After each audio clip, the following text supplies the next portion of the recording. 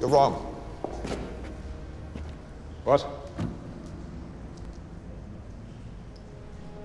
You're the experts on spying and tradecraft and all of that, but not Penkovsky. You've met him once. I know him. He would never leave me to die. And I'm not leaving him. I'm afraid it's not your decision. You said the problem was there's no way to coordinate to let Penkovsky know about the escape plan, but there is a way. Me. I can tell him. If I go back to Moscow. You would do that? Yes. No, he wouldn't.